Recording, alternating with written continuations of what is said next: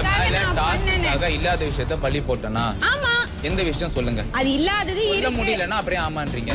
நீங்க நேத்து என்கிட்ட வந்து சொன்னது எல்லாமே நான் டாஸ்க்குக்காக பேசினேன் அப்படின்னு சொல்லி. அப்ப இன்னைக்கு நீங்க டாஸ்க்குக்காக நீங்க எதுவுமே பண்ண மாட்டீங்க அப்படின்னு சொன்னீங்கன்னா அப்ப நீங்க தான் சேஃப் கேம் ஆடுறீங்க. நான் கிடையாது.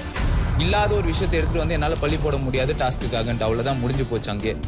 இதை சேஃப் கேம் எடுத்துக்கோங்க. என்ன வேணா எடுத்துக்கோங்க. I don't care Bigg Boss ultimate இருபத்தி நான்கு மணி நேரமும் டிஸ்னி பிளஸ் ஹாட் ஸ்டாரில் கண்டு மகிழுங்கள்.